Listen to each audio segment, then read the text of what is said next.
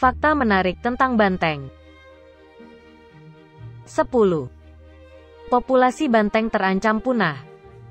Saat ini, jumlah populasi banteng di seluruh dunia tidak lebih dari 8.000 ekor. Bahkan menurut perkiraan beberapa ahli, populasi banteng hanya tinggal 5.000 ekor di seluruh dunia. 9. Struktur fisik banteng menyerupai sapi. Banteng memiliki tinggi badan yang kurang lebih sama dengan tinggi badan sapi sekitar 160 cm. Dengan panjang tubuh mencapai sekitar 190 cm sampai dengan 225 cm. Postur banteng menjadi semakin besar dan gagah.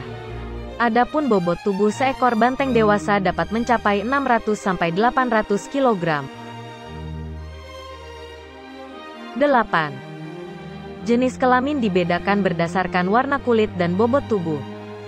Banteng betina memiliki warna kulit coklat kemerahan. Selain itu banteng betina juga memiliki punuk dan tanduknya mengarah ke bawah. Sedangkan tanduk banteng jantan mengarah ke atas.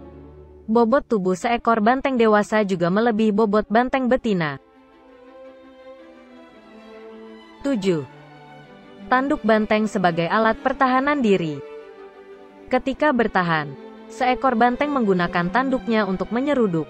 Sedangkan panjang tanduk banteng berada di kisaran 60 cm sampai dengan 75 cm.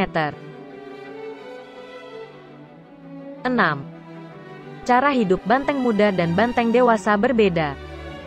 Seekor banteng yang masih berusia muda cenderung untuk memilih hidup sendiri dan terpisah dari kawanannya. Lain halnya dengan banteng yang sudah dewasa, ia cenderung akan tetap bergabung di tengah-tengah kawanannya serta hidup berkelompok.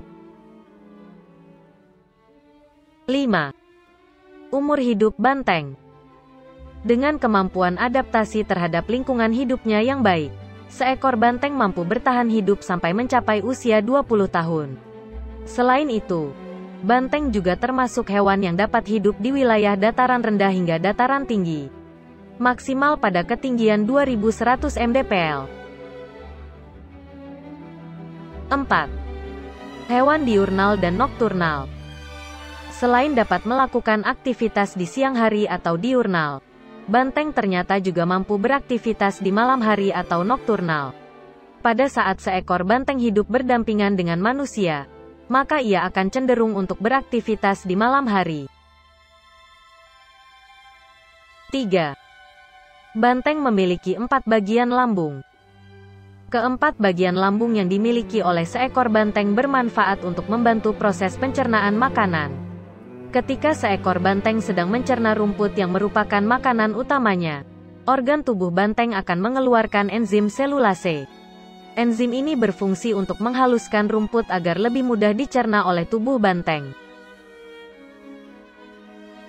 2. Kebiasaan berkubang Kebiasaan berkubang ini dilakukan oleh banteng pada saat suhu udara di lingkungan sekitarnya terasa panas.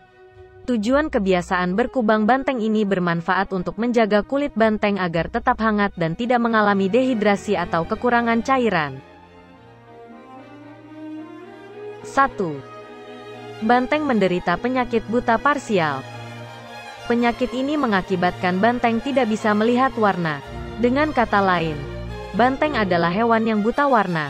Seekor banteng menjadi sangat marah bukan karena melihat warna merah, akan tetapi oleh gerakan provokasi yang dilakukan oleh matador di dalam sebuah sirkus.